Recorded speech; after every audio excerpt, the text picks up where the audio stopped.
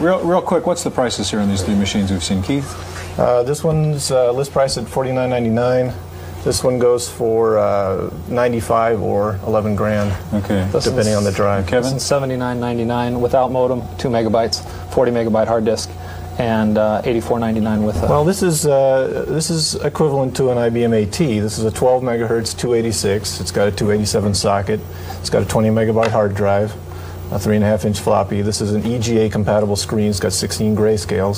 So up on the back here, you've got all your standard ports. There's external video for an EGA monitor, two serial ports. Um, it's also got a space here for a modem, which would be this kind of modem here. in addition to the desktop features like removable keyboard uh, and all the ports and full complement of memory, we have a tremendously viewable fluorescent screen here. And if you if you notice, I'm running uh, Microsoft Windows and, and Excel here, and and the spotting of the cursor is is something that does move quite well across the screen.